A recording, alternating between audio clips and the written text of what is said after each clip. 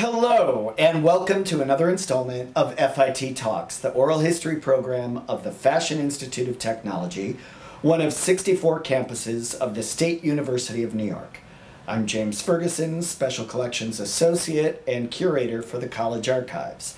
We're coming to you today from the FIT campus on West 27th Street and 7th Avenue in Manhattan. It is May 15th, 2024, and the time is 12:30 p.m. Eastern Time. I have the honor and privilege to be joined today by Professor Robert Vassalotti of the Fashion Business Management Department. Professor Vassalotti, welcome to the program and thank you for participating. Well, thank you very much for inviting me, and I think it's a wonderful program. And I know it's been going on for several years, and I can imagine you have a wealth of these type of uh, interviews uh, archived now. And I think it's a great way to build the history of our campus and our museum and our special collections. So I'm part. I'm very happy to be part of it, and I thank you again for for inviting me and doing the work that you guys do. Well, thank you. Uh, we're delighted to have you participate. Uh, for context, would you please tell researchers a little about your childhood and upbringing? Sure. Um, I'd also like to point out that you pronounce my name beautifully. Oh, why, thank you. Thank you so much, Vassalotti. Yes. So, yeah, my childhood and upbringing. Yeah, I, put, I pulled out a version of the 1950 Vogue magazine here um, that you have on your collections, uh, July of 1950. So you can do the math. It's I'll be 74 soon, and um, you know, I tell you, I I have to say that I've been very privileged to have a really, really interesting childhood and upbringing, and it, it was kind of classic in many ways. And and you know, I know so many people have not had that privilege, but um, you know, it was kind of suburban Long Island in the 1950s after World War II, and everything was changing and everything was fresh and new, and you know, we lived in the suburbs. Um, I'm half Italian and half Polish, 50 50. Both families came from Richmond Hill, Queens, and they were the first to emigrate and leave to Long Island, a whole 12 miles away from Queens, you know. And the relatives all thought they were crazy going to Long Island. What's out there, you know? Well, we were fortunate enough to move into a town called Garden City, which is a historical town, goes back to 1869. And my dad bought land and built a house and um, I was, we moved out. I was a year old, so I basically, you know, recall Garden City from my childhood. Uh, and uh, in Queens, we would go back almost every Sunday to visit the Polish side or the Italian side for those Sunday meals and those kinds of things. So I know Queens as well. Um, but Garden City is a very special place. It, it was founded by Alexander Turney Stewart, who was a retail merchant and, and founded the first department store in, in New York City, and he became like a billionaire in his day. And a lot of people don't know the Stewart Company, the A.T. Stewart uh, Company, but it was massive. His department store was called the Marble Palace, um, and he decided to build a town called Garden City in 1869. He planned it and built uh, streets and roads and, uh, and sidewalks and lights and he built the cathedral and a school, and, and it's a really amazing historical community. And so I had the privilege of being raised there. My dad was struggling to live there. He was a teacher in the New York City school system. I guess that's where I get a little of my teaching. But he was he was a industrial arts woodwork teacher. That's where I get my creative side. And um, I love woodwork. I'm a woodworker myself, and I've crafted many many things in my life. And I, I love to work with wood. I have all the old tools from my, my father, my grandfather. My grandfather on my Italian side was a master cabinet maker and inlay maker, and he could make his own moldings and trim, and very, very talented man, came from Italy. Uh, my grandfather on the Polish side was a plumber, and, and he ended up being a steam fitter for the Long Island Railroad for many, many years. And they both were very well off, and they both had thriving careers, though they struggled and worked hard. Um, they were fortunate because they, they my, my, grandfather on the Vassalotti side, you know, Pasquale, he had a, a, cabinet shop and a home building shop on Van Wyck Expressway, and he had his own business there. And um, the other fellow, like I said, worked, for, you know, he was a union man working for uh, the railroad, and he um, was a steam fitter, and that was all steam in those days, locomotives and things. So I have all the tools of all of those people. I dabble in all those things. I can do electrical work, carpentry work, and plumbing work and I love it all, and I love to paint. So I'm a very, very handy guy. And part of, part of the interesting thing about my life is that, you know, I learned from so many people because I came from two big families. I have one sister, older, always learned from her. She's brilliant, she's great. She was always in the honor roll. And, and I learned a lot from her. And she still lives nearby in, in, in uh, Pennsylvania. But my sister Judy. And I learned so much from aunts and uncles. I had big families. My mother was one of 15. My father was one of five. All of them had trades. All of them had skills, uh, particularly the guys, you know, in those days. Um, and they all had to work hard. My father was one of the few who went to college. His other brother, two, excuse me, his two other brothers went to college, three of them. On my mother's side, no one went to college. And so they all worked hard. Um, and, you know, I learned skills from all of them. And I have these same skills today. So I was really happy to learn from them. Uh, they all used to read the newspapers. I learned stories from them. And, you know, funny thing that I was one of the only boy cousins. All the rest were girl cousins. So when we get these big parties, you know, I, I got a lot of attention from everybody because I was the only boy running around, you know. but I, but I also spent time with them when they did projects. And they would all help each other repair homes and fix each other's houses, and they were all moving to the suburbs. So, you know, we spent a lot of that family time. Um, so growing up, again, I, was, I felt fairly uh, comfortable in that environment. I, I grew up on a block with lots of kids in the 50s. Moms were home, kids were out playing, we played all day.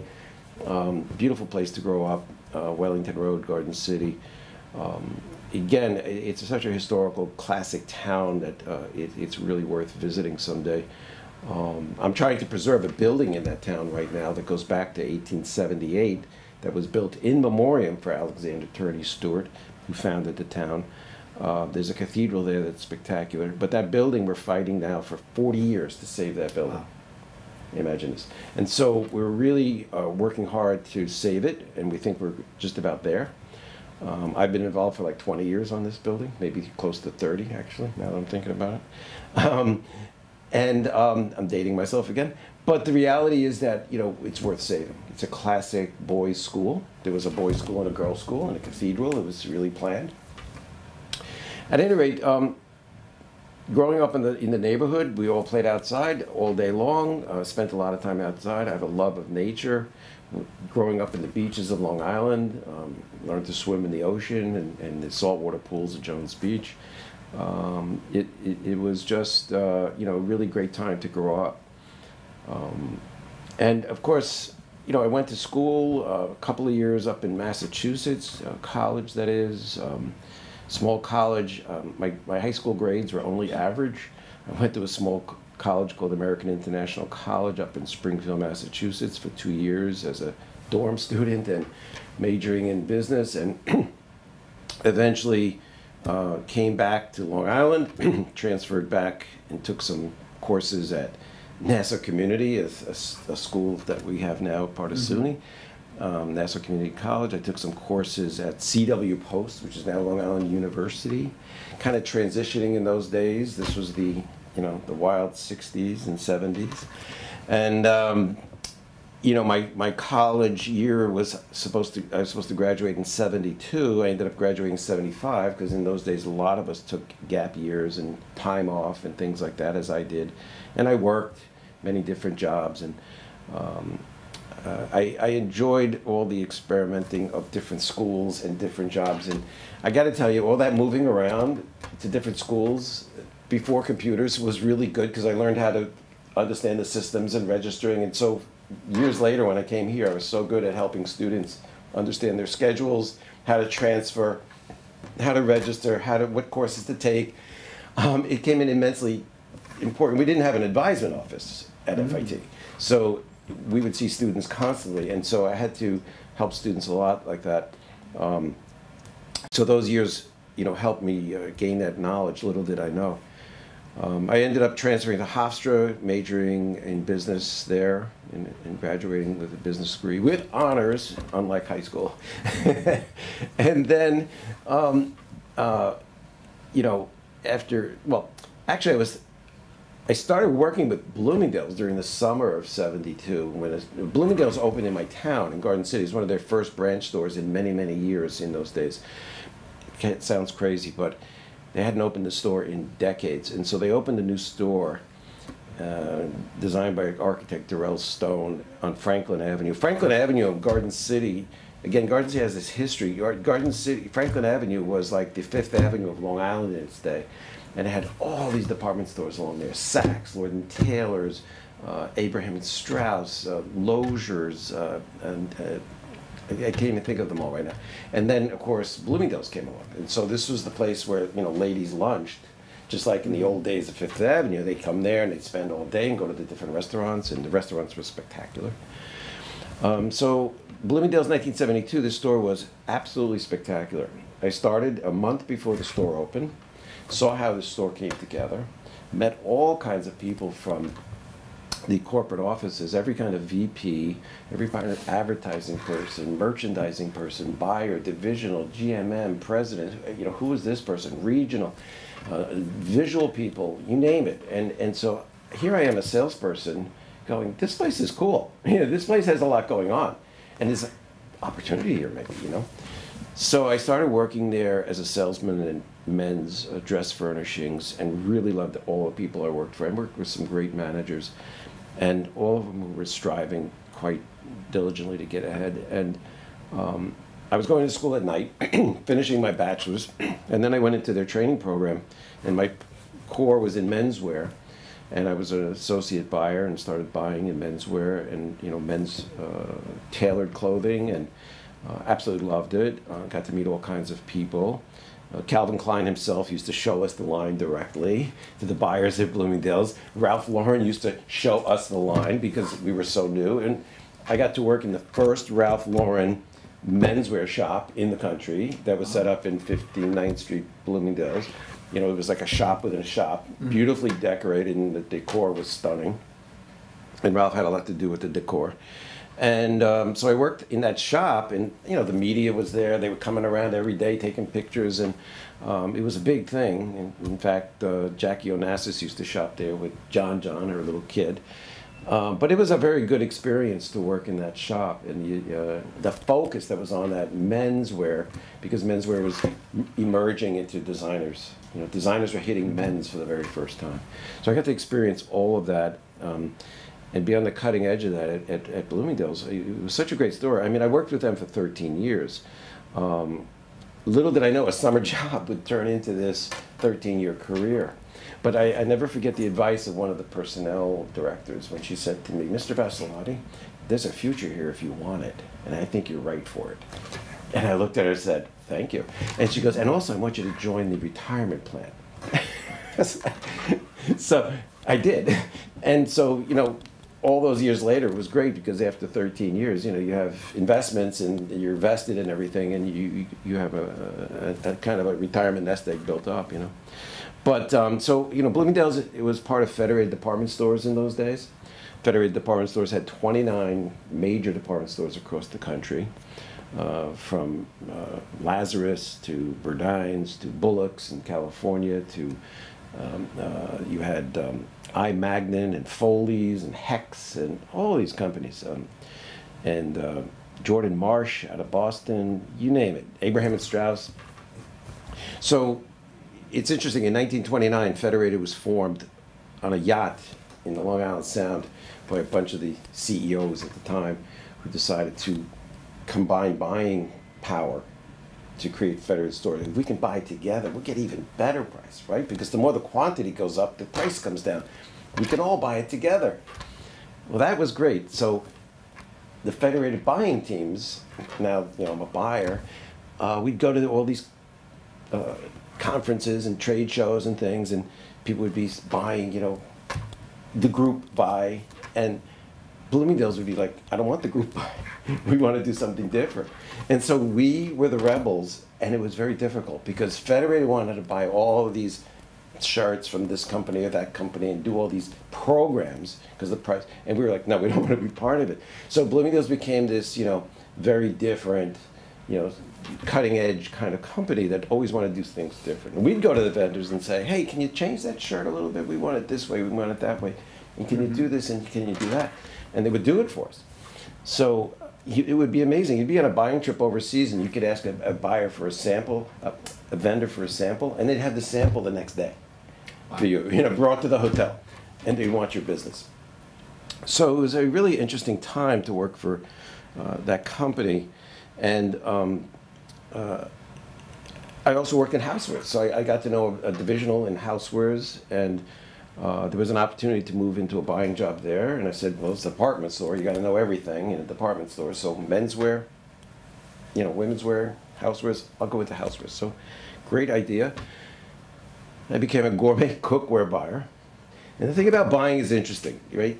If unless you're into something really specialized like jewelry, uh, um, a few other things, you can learn to buy anything, you know, and to be a buyer because it's managing it and it's selecting and it's planning and it's you know you're doing your six month plan and your quantities. So I fell in love with housewares. I'm, I'm, I'm a very houseware type of guy. Like, I'm a very domesticated guy. I've always learned how to cook. I always knew how to, you know, help my wife in the kitchen, you know. Um, I was married when I was 23. And so I always helped at home in the kitchen, you know. And so I loved all this stuff about the kitchen and cooking and stuff. And so Bloomingdale's was on the cutting edge of gourmet cookware. When cookware was really taking off. And all these chefs were coming on board and, um, uh, uh, uh, you know, Beard and, and Prudhomme and all these people were having cooking shows and books and, and all these kinds of things, James Beard and things. And so we had a gourmet shop with live demonstrations and big sales every week and high-end cookware like Calphalon and All-Clad. People hadn't even heard of these things. All the high-end knives, Henckels and Wusthof, and uh, the, the consumer was just gobbling it up. They wanted all the best kitchens to show off their, you know, brand new home in the 80s. It was the opulence of the 80s, you know, and the big money of the 80s and things. And the women were wearing the power shoulders, you know, to work and everything. And so they wanted the best in their kitchen to impress their friends. Even if they couldn't cook a fried egg, you know, they had the best pans. And so, and they had gorgeous copper pans that they would hang on the racks. The, the whole thing was the hanging racks and cookware and things. So the trends that I've lived through are just amazing. Uh, menswear with all the designers coming in, menswear was boring. It was you know white shirts, blue shirts, and ecru color shirts, right?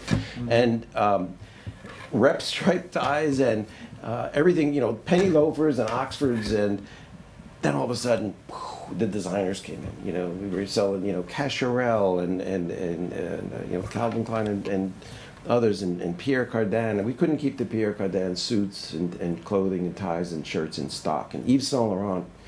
So we were at, I, I was at this juncture where, you know, menswear exploded, and I was there to see it and feel it and be part of it and, and guide it, actually. Um, and we were also opening stores at Bloomingdale's. You know, I, Garden City was one of the first, but then we continued to open stores in Chicago and, and Washington and um, uh, Florida and, and just all over, you know. And it was really an amazing time to be expanding stores and traveling. And I got to buy things all over Europe, travel with the group to Europe. It was it was it was really fantastic. Um, and again, I hit that boom of the cookware industry, gourmet cookware blossoming. Uh, we used to have a restaurant right in the housewares department at Bloomingdale's 59th Street. Uh, it was called Le Train Bleu. And you would walk upstairs, and it would be this beautiful restaurant, like an old French railway car. It was fantastic. And we'd go to lunch there all the time. It was great. I was also very privileged to live through the era of like unlimited expenses. Okay, vendors were going crazy. There was no like things with the IRS and you know all these kinds of things. And gee, you better take the beer off the receipt before you put it in for the expense account. It was you know everyone was taking everyone to lunch, taking giving them movie theater ticket, not movie theater tickets to plays and concerts and all these kind of things. But it was all up and up. It really was, and and it was just the way of the business world. You know, all the vendors were local primarily. There was not a lot of overseas business at the time. Most of it came out of Europe. That's why I traveled to Europe extensively. And then eventually China was the big push, and we started bringing domestic, excuse me, imports in rather than just domestic goods, and the imports were coming in in container loads, overwhelming our warehouses, I might add. We weren't ready for the influx of um, foreign trade like we started to buy, and so it became a problem. Our warehouses became outdated. Uh, it was very difficult to um, uh, move the goods through our warehouses and our trucking systems. We had to change everything. Uh, because when you get 20 and 40 foot containers, it's a lot of merchandise. So, um, yeah, I lived through some very strange and changing times, right? We didn't have mm-hmm. computers. We had, then we moved on to computer systems, and that became a whole challenge in the buying world. We used to get selling reports that were two feet thick of paper, right, that you had to look through, and piles of computer paper printed out with all your numbers. It was cra- I used to bring shopping bags of paper home double up the bags and carry two shopping bags of paperwork home on the weekends and stuff. It was crazy times. But the, the, computers are spitting out the material and the information, but it wasn't a screen at your desk, so you had to get the printed copy. Mm-hmm. It was a little bizarre.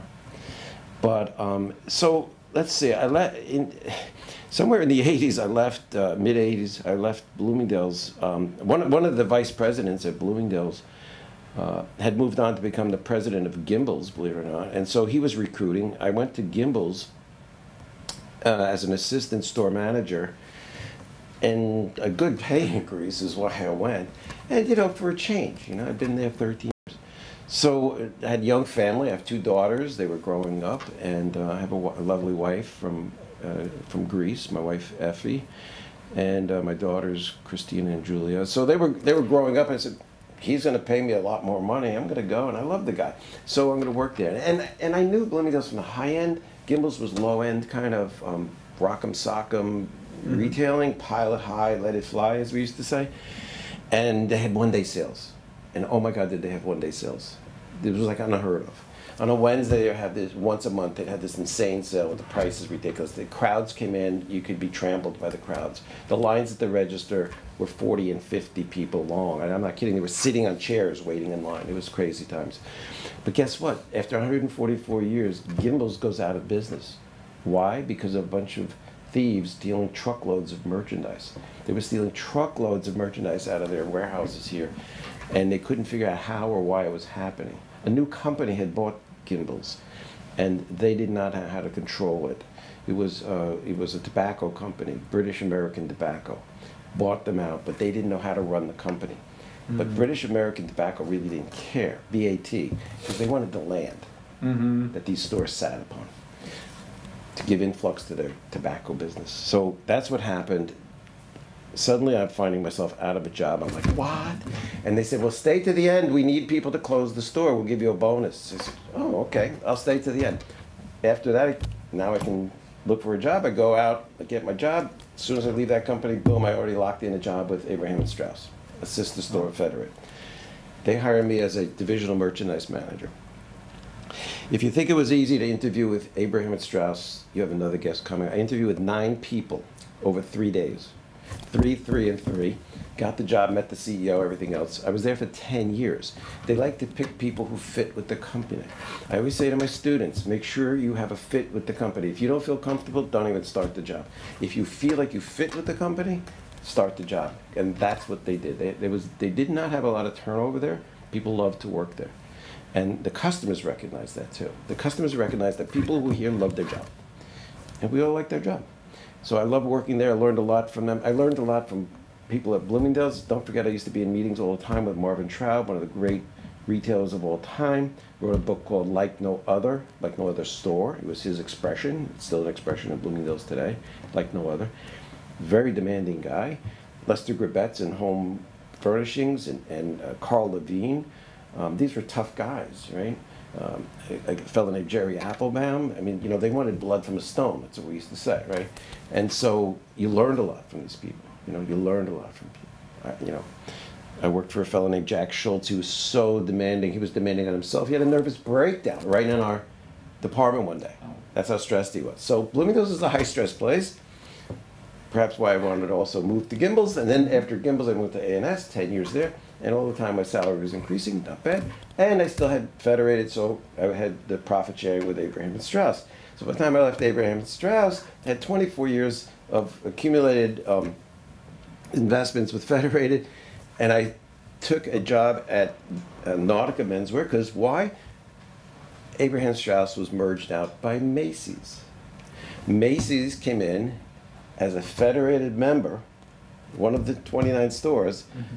But immediately it all became Macy's. So they gobbled up everything. We saw the writing on the wall. Everyone was like, you better find the job because Macy's is coming in. And we, um, it, it was funny. I was, I was at Abraham and Straus when um, uh, we took over Jordan Marsh out of Boston. It was all part of the plan. We took them over. Jordan Marsh disappears after all these years. People were all upset. And then Macy's comes into Federated, takes us all over. And I literally worked for Macy's for about a month. and so, interestingly enough, as the world turns, mm. um, years later, and it looks so funny on paper, but years later they said, you know, you'll be entitled to a, um, a pension plan with Macy's, you know, when you when you reach the age of 66. And I was like, yeah, okay, whatever. and so sure enough, when I turned 66, you know, some letter comes in the mail, you know, don't forget you still have a Macy's pension plan you're entitled to. And so, I mean, what does it pay for? It pays for something, you know, I don't even know anymore. I, I, guess it's like a monthly payment on my automobile, okay? Mm-hmm. something like that. So, um, it is, and it's funny because I'm still fully employed, but I, I, get this Macy's thing, you know. And so, um, anyway, so uh, working for Nautica, I only stayed there a little while, I, just under a year. Was an account rep for Nautica. First time on the wholesale side. I'm a, I'm a retail merchant, managerial merchant through and through, buyer through and through. Um, and uh, uh, at Nautica, it was a whole different perspective. Now I'm servicing Macy's, servicing Strawbridge and Clothiers, mm-hmm. servicing Bloomingdale's. You know, on the account side, teaching the, you know, the team about the product and the product line and what's coming in and, and how the floor should be merchandised. And, and Nautica was a great. Nautica was run by David Chu and founded by David Chu, was an FIT graduate. Um, his his nautical inspirations came from his family, who um, they were nautical engineers and they designed sailboats and things. And that's why he got all these colors and numbers from the sails and things that he would do. Um, we met him, of course, met him. He would be there all the time and, and he would talk to us about the line. And uh, they used a lot of artwork in their brochures, which was beautiful. I loved that. Um, but anyway, so uh, I had this idea about teaching, and it was in the back of my mind ever since my dad. My dad always used to say, "Be a teacher, be a teacher. Why don't you be a teacher? You get the, you know, you get the summer off. You can do what you want. You're a little more free. You don't have to stay late in the afternoon. You can do after school programs and whatever you want to do." And so he loved the freedom. Like he he was a he he did uh, real estate on the side, and he also built homes. So he built like three homes in Garden City, contracted, you know, as a contractor. He sold homes all over town and neighboring towns and communities. He was an independent real estate broker not a salesman, a real estate broker, and um, had gotten his license and everything. Um, and uh, he went to a SUNY school. He went to Oswego, upstate New York. In those days, that was a big thing. Okay, in like the 30s or 40s or whatever it was. Think it was the 40s. He would go to. He went to Oswego out of Queens. You know, it was like a big thing in those days. But um, and he served in the military. He had to go to school late because he was in the military for, um, you know, like four years. Um, but uh, all of them were in the military. Uh, he never went overseas, thankfully. But um, so yeah, um, the uh, uh, experience I had at Nautica was was excellent. But something was in my mind about this idea of wanting to learn more. I wanted to learn more, and um, I was getting like mentally bored, you know, and it was troubling me immensely. Uh, and I knew there was a career change, and a radical one, imminent, you know, and I, and I would be at work thinking about it, and I distracted from my work, you know, thinking about something's got to be next. And so something was driving me towards this idea of giving back and teaching I, this idea. And so I started sending out feelers to different schools to say, can I teach retail? Can I teach retail? Can I teach retail management, retail buying, retail merchandising? Where do I go? And I was sending all these feelers out, and little did I, I discover, you know, FIT. And, but that took a while to get to FIT. I went to all these other colleges and universities on Long Island first and things.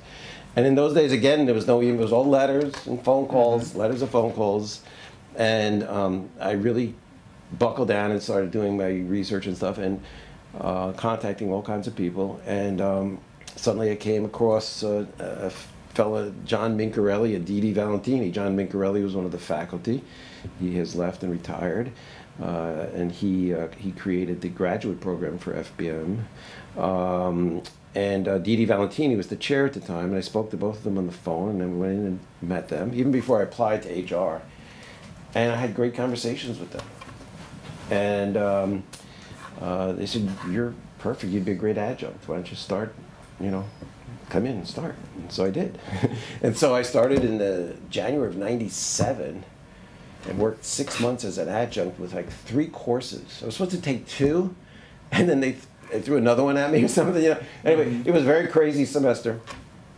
And then um, there was a job opening for full time. I applied for it, and they were really looking for full timers because a lot of people were retiring.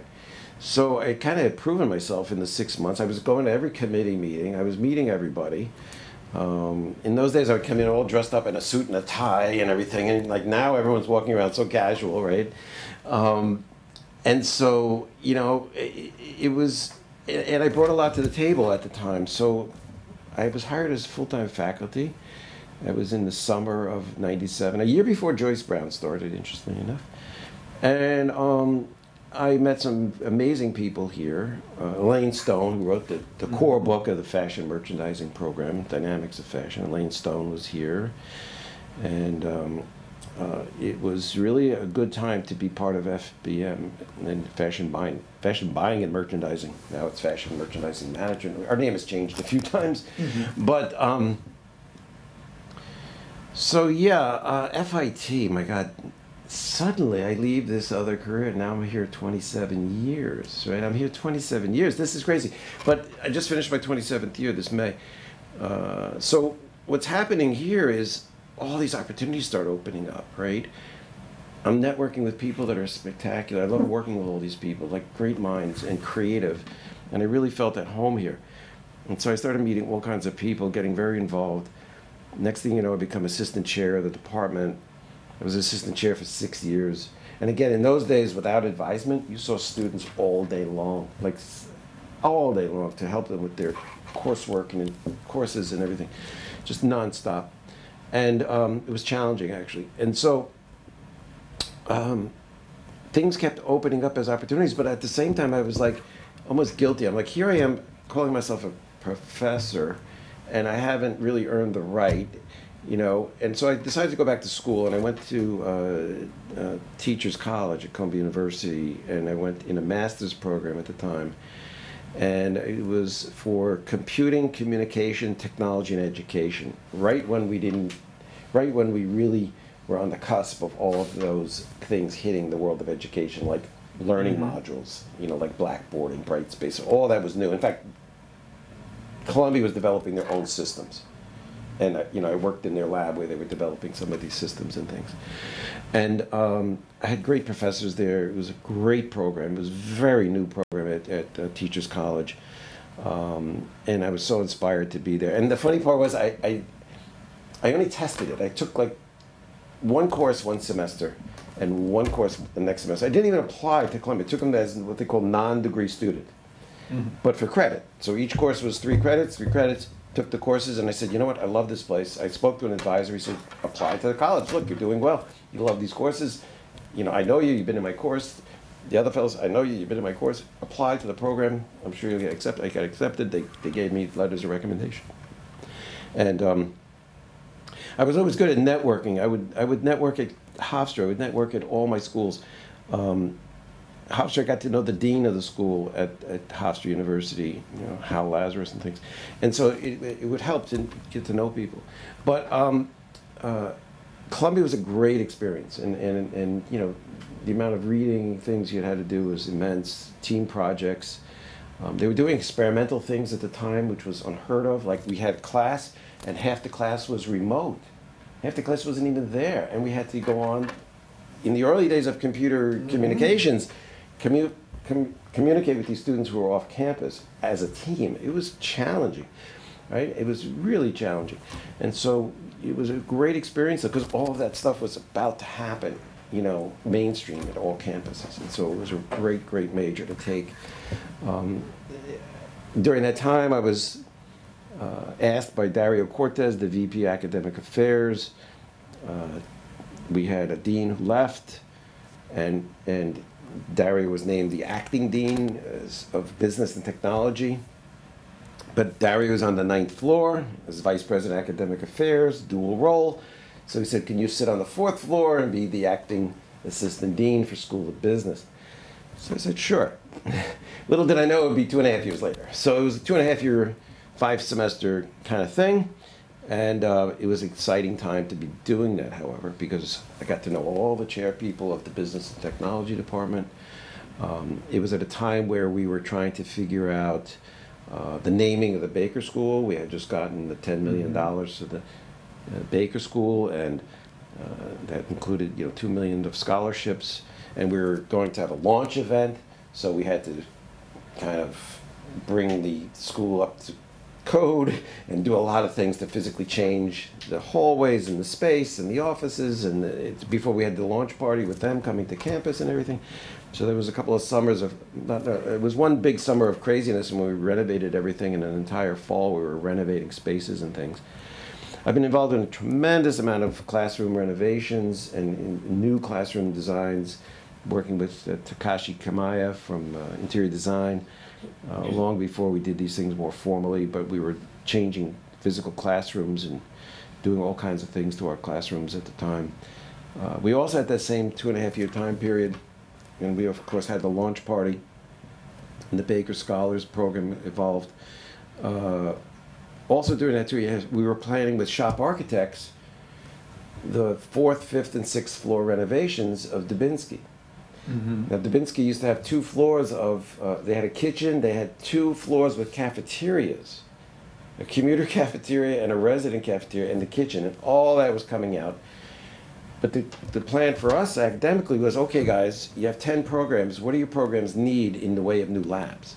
So I had to go to all the chairs. We had plans spread out on my desk for months. Uh, and we worked with shop architects to decide okay, this is what we have in textiles, this is what we need. This is what we have, this is what we need, whether it's classroom, lab, storage, technical things, equipment. So I was really deep diving into every single major. It was an amazing time. Um, and we came up with the, all the plans to give to shop and say, okay, guys, build it. you know, this is our needs. You figure it out. And they came out beautiful, quite frankly. Those three floors are really spectacular. Um, and and they were doing the same thing on the art and design side. Don't forget, you know, which. I didn't have anything to do with that. Toy design and others, they were doing the same thing. What do we have? What do we need? Let's deliver a package to shop, and they'll make it all happen. So, um, and from that, there was also some spin-off that was leading towards C squared, the new building on 28th.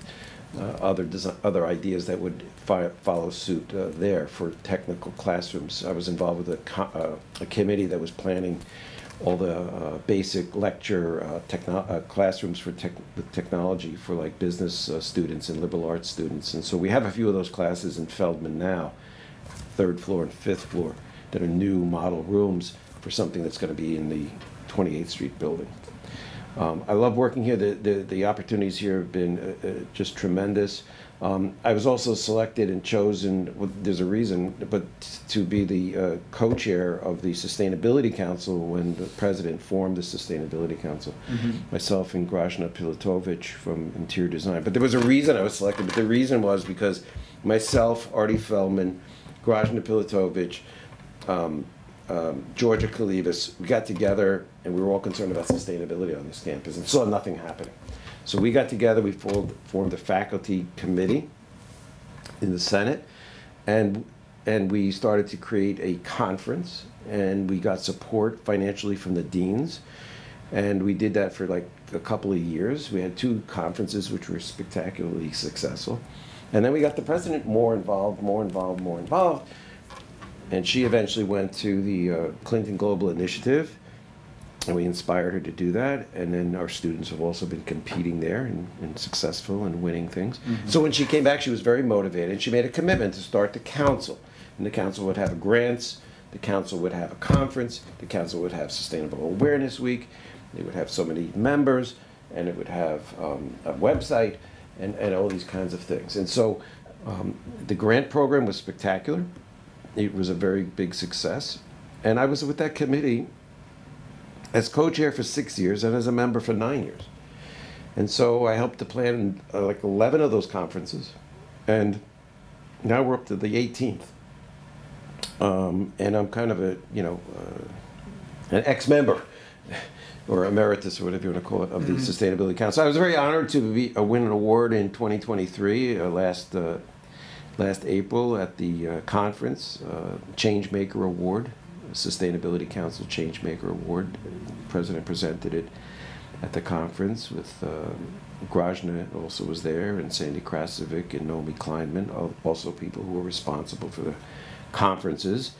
And um, they were very, very instrumental in making those conferences happen and planning out the layout of Reeves Hall. And we were one of the first groups that really started to use Reeves Hall because it was new. Reeves Hall was new. What do you do with it, right? So by it was a struggle figuring out how to use it and how to set it up.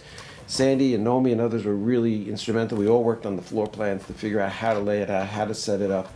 It was a one-day conference. We used all the seminar rooms on the main floor, all the seminar rooms on the lower level, and it was an amazingly well-coordinated conference. Um, so I think I have to be really proud to be part of that uh, initiative that's still going on here and, and will continue to go on, I'm sure, for years to come. Uh, but we're, I'm also happy that we were able to execute the mission statement of FIT to reflect the, the words sustainability, global citizens, and diversity and inclusion into our mission statement. And that happened, to be honest with you, um, I was serving on the Middle States uh, as co-chair of the Middle States uh, 2012 uh, report, and the Middle States. It was my second time serving on Middle States, and so. Um, the first time was the periodic review. It was it was the 2007 periodic review for Middle States, and I was co-chair with Dimna Bowles from Curriculum and Instruction, and we had to put together, you know, the 100-page report. How are we doing as a campus? After that went in, before you know it, the 10-year periodic review 2012 comes up. I'm asked again to participate in that, co-chair that committee with her. And so as we were co-chairing and working with all the VPs and, and directors and chairs of the of the campus, I couldn't help but bring up the fact that our mission statement was really getting old and sour and needed uh, uh, uh, some life. And so um, it was then that, you know, I seriously suggested these core principles be involved in this mission. And so through the work of the committee, we, we phrased it out and we got it approved by the president, of course, and the board, and we redid the mission statement of the campus. And so working on two middle states was an amazing experience. Okay, mm-hmm. coordinating eight teams to come up with a. They don't want it more than about hundred pages, but our first reports were a couple of hundred pages, and we had to cull it down to hundred. And both times we went through with flying colors, you know, with no problems whatsoever. You know, thumbs up, you got your accreditation, everything's good. We love you guys. Do this, do that. We love you guys. You're good. Um, I was asked a third time and I respectfully declined. Uh, some others took it on.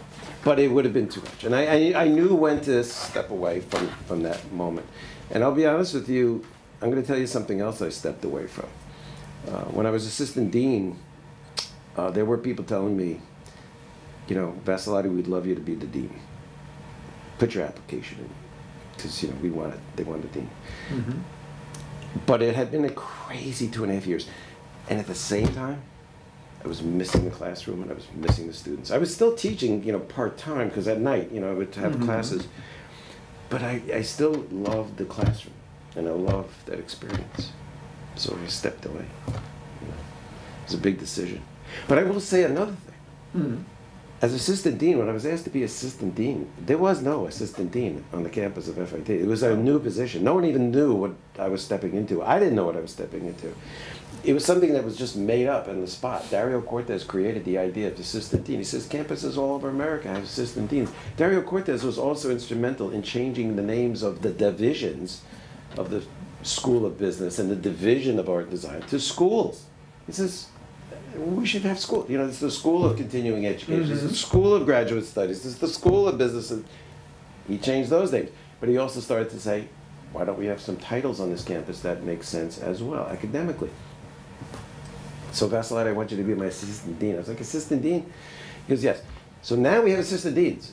Quite, but at that time, I actually had to help write the job description, you know. But the reality was, um, and they didn't know quite what to do. So I, you know, at some point I was getting release time. and Then another semester I got bonus, another release time. It was, it, they didn't know how to deal with my, you know, salary structure and release time and stuff. It was all Mm-hmm. kind of unknown.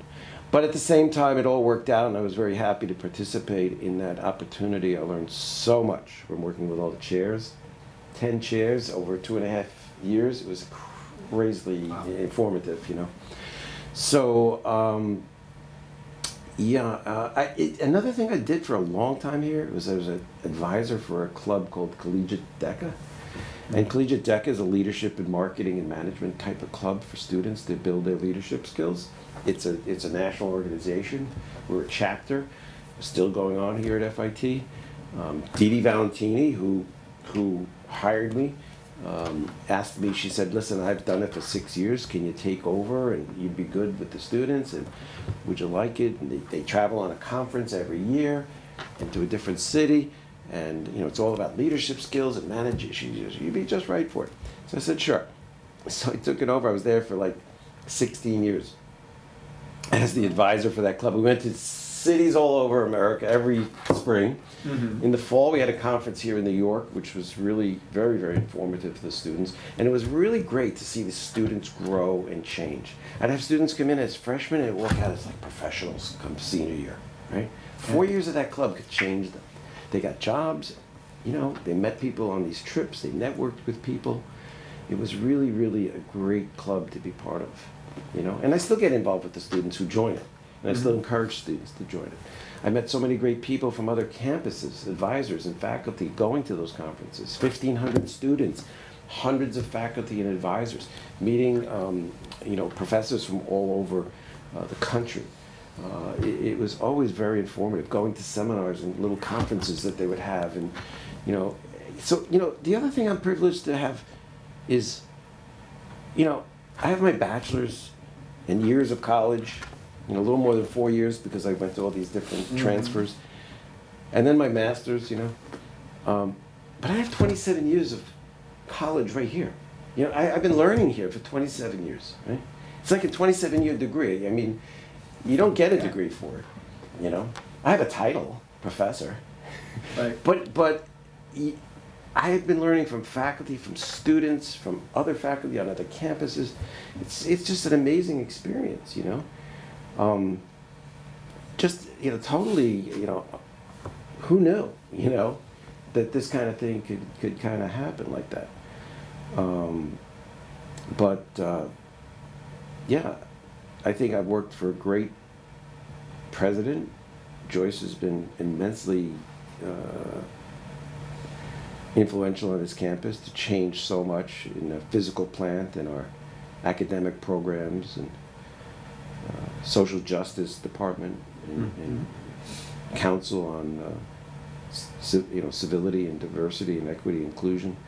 Just two councils, you know, sustainability council and um, council for diversity council, uh, and a department for diversity, equity, inclusion. All these things are you know, incredibly important for today's uh, society. They're things that are happening and changing. Um, I think she's been really good for the campus. Got us got us a new building, which we'll be moving into soon. Wasn't easy to get 200 million Mm-hmm. as one of 64 campuses. Not easy, you know, but Yeah. What are your dreams or plans for the future?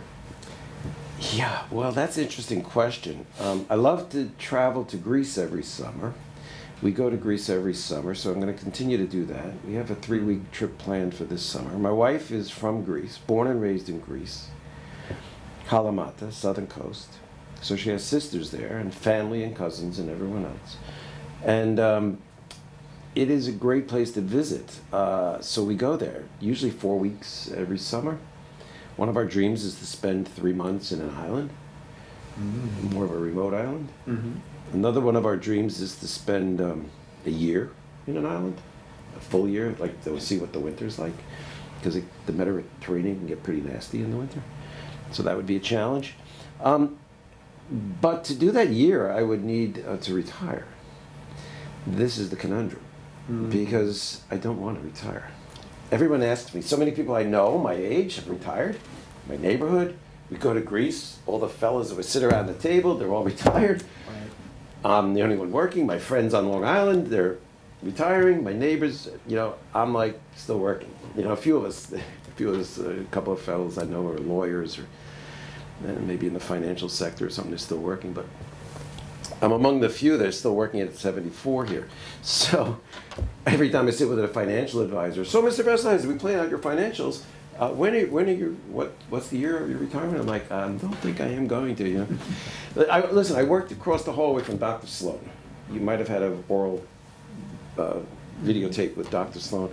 But, um, you know, he was here 50 years, and he, I think he was 95 when he left, you know.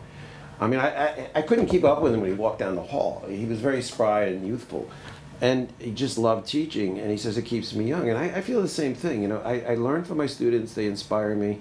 Um, it's great to see them grow and change and to um, uh, uh, come away from, you know, a 15 week experience uh, having gained something, right? And, and, and, I, and I hear back from them. And, and I help them with their resumes and I help them find jobs and uh, help write them, you know, letters of recommendation and, and things like that. And then they go on to law school or they go into, you know, some other business school or whatever they're going to do.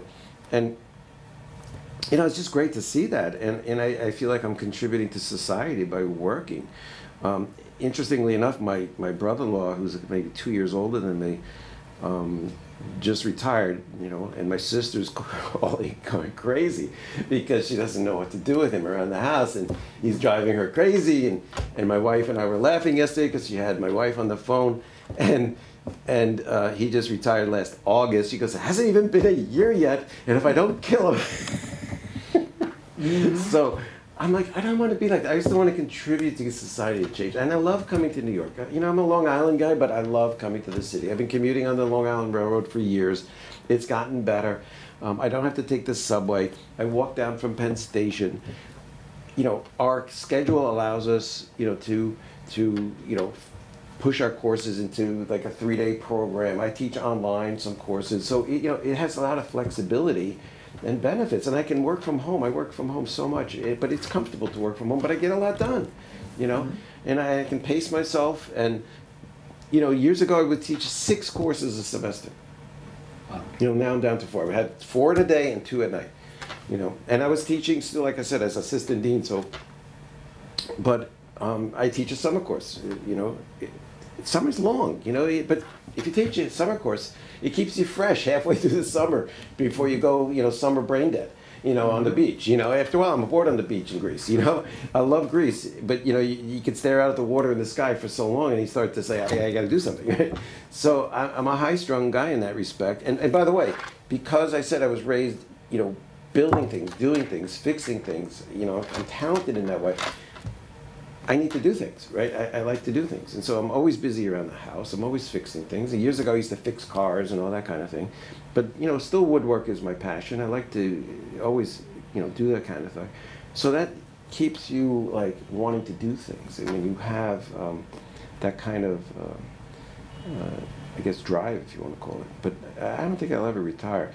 Um, maybe more traveling, obviously, besides Greece. Listen, I've been to all kinds of places. If we've been to Italy and France and you know, Sweden and all, all kinds of things, and I'd like to go to other countries, and so you know, more travel, mm-hmm. you know, would, would be good. Um,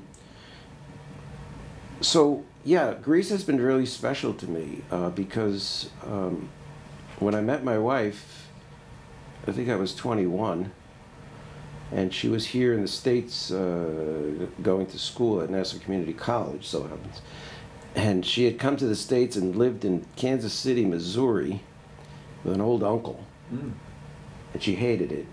She came all by herself at 18. And she hated it.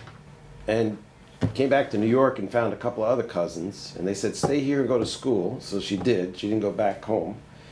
She was about to go back home. They convinced her to stay. And so I got to know those cousins and stuff. And it was because she made that move that um, that's how I got to know her. And so here's a funny story. Long before dating apps and all that kind of stuff, I met my wife on a blind date because my sister introduced us. And so um, when I say blind date, I didn't even have a picture or anything. And so, so, um, and it, it was so weird. It's six degrees of separation. My house in the back was a, a, a Greek lady who had moved in. My mother got to know her, brought her a pie that she baked, got to know her. They were friends forever. She'd go there, like they had a ladies' night every uh, once a month on a Thursday. All these Greek ladies would show up. My mother thought it was hysterical because you know she's a Polish lady. You know, here she is with all these Greek ladies, and they're having a blast. No men, and so she. Uh, one night, my sister goes over, and it so happened that Effie ended up over there, and so a little network, you know. And so my sister goes I met this nice Greek girl, you should go out on a date. I said, no, I hate blind dates. So she goes, I'll pay for it. And I said, all right. So I went on the blind date. So she literally paid for it. But here's another funny story. So when we, when we finally, you know, have this uh, dating thing, um, we say, to my parents and my sister, we're going to get married. My sister goes, Are you sure? I didn't think it was going to come to that. I mean, you were going to get married? So I was like, Yeah. So now, all this time, I never met her family in Greece. None of them. Like Zippo, zero. I knew her cousins, one or two, two of them. So we get married here. My, my dad and my mom throw a big wedding with all the family. I'm big family, right? Catholic church, big wedding, um, uh, ceremony, everything. And that night we, literally, that night we traveled to Greece. My first time on a plane, 1973. Wow. First time we were a plane. Never flew anywhere. So, international flight, TWA, we're on the plane. They call out our name. We're like, why are they calling our name? They brought us champagne. Oh. Those are the times are different. Mm-hmm. So, so um, we go to Greece. I meet, meet her family for the first time. Now we're married, okay? Meet her family. So, and we bring a big picture, you know, of us or whatever. Anyway, we, we presented this. So it was really nice meeting her family, small house and everything, huge family. And guess what? We get married again the following Saturday in the Greek ceremony, in the Greek church, mm-hmm. all over again. this time it's this place that sits up on the bluff overlooking the Mediterranean. It's out there at night under the stars, full moon. It was spectacular. I'm like, I didn't know a place like this could exist, okay? the blue water, I mean, the water looked blue at night. I mean, it was amazing, especially when the lights shined. But it was amazing. Uh, we had such a great wedding. Uh, met all her cousins and family. It was so much fun. She's one of three girls. And um, lots of cousins and things, and we've had we've been over there so many years, so many years, uh, you know, in the islands, and it's just changed my life. Most people think I'm Greek by now. You know, most people. It, it, the name Vassalotti is very similar to a lot of Greek names, Vasiliadis and mm-hmm. you know, or Vasilotis and all these different things, and Vasilis and stuff. But it's, you know, the Greeks occupied southern Italy. My Italian family is from uh, east of Naples, uh, at a place called Riccia. Um, and uh, I've never been to that part of Italy, but I'd like to go. But um, yeah. So. All right. I'm talking a lot. Yeah, that's, that's the point of this. Uh, finally, what would you most like for people to remember about you so far? Okay. Well, listen. Uh, I think one of the things is I'm curious. I'm a, I'm I'm always thinking about ideas, new ideas, I think I'm a bit of a change agent. I think I'm a bit of a catalyst for change. Um, I drop a lot of ideas and change ideas to people, and um, doesn't mean I'm going to execute them, but other people might. And it's okay if they get the credit and all that other good stuff. I'm good with it. Um, uh, we started talking about a graduate program in FBM a long time ago with John Mincarelli. And uh, we kept talking about it and talking about it. And in those days, it was kind of crazy to think about a graduate program at FIT. And I'm like, why not? You know? And so John one day said, hey, you know, Rob, um, this idea has really, really got me here. I, I'm, this is, I'm going to, I got to do a lot of work on this. I'm attacking this. I'm like, go for it. You know, go for it. Go. You know, knock yourself out. Mm-hmm. And and and you know, but I don't know. I, I just feel like I like to plant ideas of change and ideas of uh, directional need uh, to a lot of people on campus. I'm not afraid to talk to anybody on campus and anybody anywhere in my town. I'm constantly communicating with leadership in my town for change, and I think I've had a lot of influence on changing people in Garden City. Um, I feel, you know, I have a deep creativity in many ways, a, a, kind of a business creative mind. And that's what I'd like to try to bring to my students is the idea that they're in a business major, but it's a creative business major, mm-hmm. creative problem solving, creative decision making, um, and you know, creativity is not always about pretty colors and and uh, you know fancy kind of things, but it, the reality is that um, I've always thought I've been you know kind of fair and honest to people and uh, worked hard, worked hard. I'm not afraid of hard work. Oof, I'm telling you, I've restored three houses or four. I don't even know. Three, three houses. My daughter's our first house, a 1920s house in Floral Park my house now, 1926 home. We stored them. Um, done all kinds of things that demanding, hard work kind of things. Mm-hmm. You know, I'm hoping that the 150 foot 150 foot brick pathway that I built in my first house is still there. I think it is. 150 feet of brick pathway, mm. right, about two feet wide, meandering through the backyard all the way to the back corner of our yard in our house. I put it brick by brick um, as I was working full time, by the way, and having two little kids, and you know, I'd get out there before leaving to work to put a few bricks in, and it took like all summer. But those kinds of, pro- I'm not afraid of those kinds of projects, you know, and, and those kinds of things, you know, rebuilding an old, you know, Alfa Romeo sports car and fixing it up and all those kinds of things. But um, uh, I love building things, you know, and, and the funny thing is, learning from my father was a shop teacher industrial arts woodwork. In the, in, he was in the middle schools in Queens, Van Wyck Junior High School, Queens, uh, Junior High School 217. Learning woodwork is, is an amazing thing because it, it's planning. You know, it's all about planning. You have to sketch something out. You have to measure it all.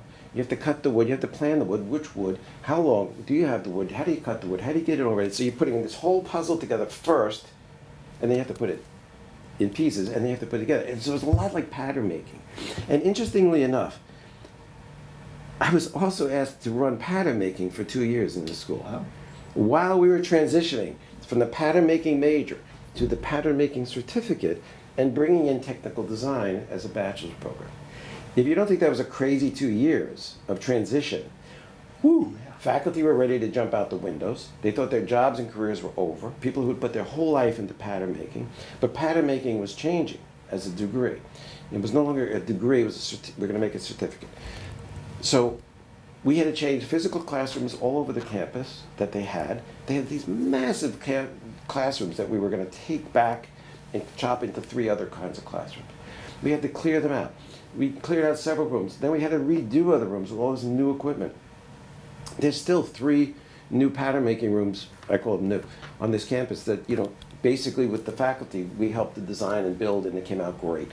And they're, and they're, and they're uh, still functioning today with all the new equipment and, um, and they look great and they function well. And, and I'm proud of those three rooms. But it was a crazy time to, to do that.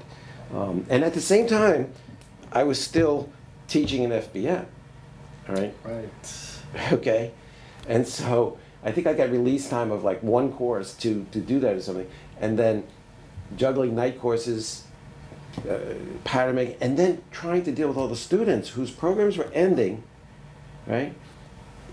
It was really, and they had to graduate by a certain time and finish their mm-hmm. courses because the program, it was a nightmare. But we got it done. It was a challenge. I, I like challenges. I like challenges. All right. Is there anything left that you'd like to say? Anything left? I don't know. oh gosh, oh I love food. I love to eat. I love great restaurants and things. Um, but the food in Greece is spectacular. Um, I'm partial to Greek food, Italian food, French food. Um, and, you know, there was a question about books, and I'm not going to speak to specific authors or books per se, although I might mention one here or there. Mm-hmm. But you know, what's I think interesting when somebody says, you know, what's your favorite book and things like that, um, or what book influenced you, and mm-hmm. you know, I think you have to look at it as in eras of time, right? So you know, when I was like a little kid, okay, my house was full of books. A lot of other houses weren't. Okay, they had like a few Reader's Digest books that were on the shelf somewhere. Why was my house full of books? Because my dad loved books. Right? He saved every book he ever bought.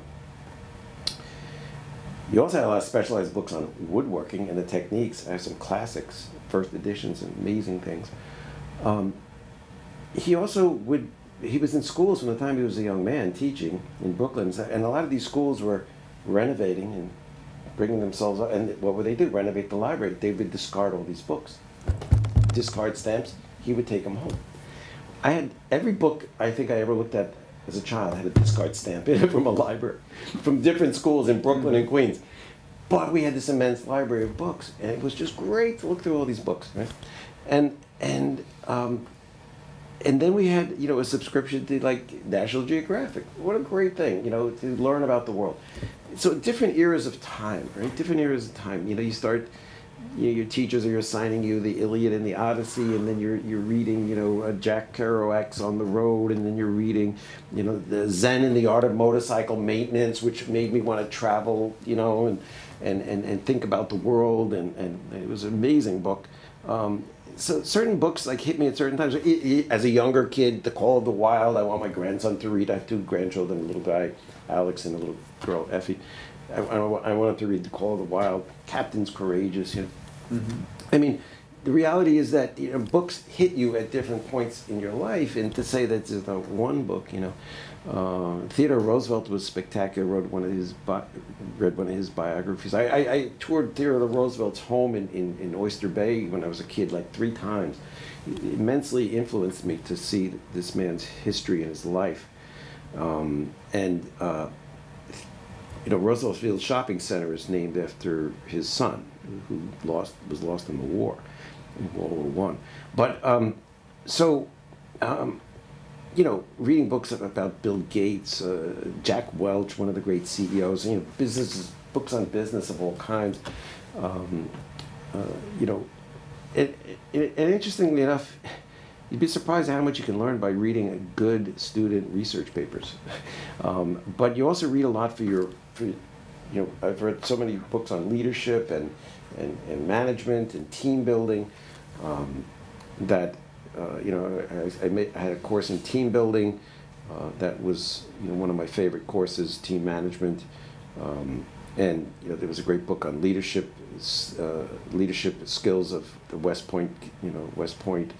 Um, but uh, you know, so I've taught courses in buying and in, in, fashion merchandising, uh, introduction to fashion, dynamics in retail careers um, now the sustainability course, um, um, and uh, contemporary retail management course. But you're reading a lot for these courses, right? You're reading a lot, and um, so yeah.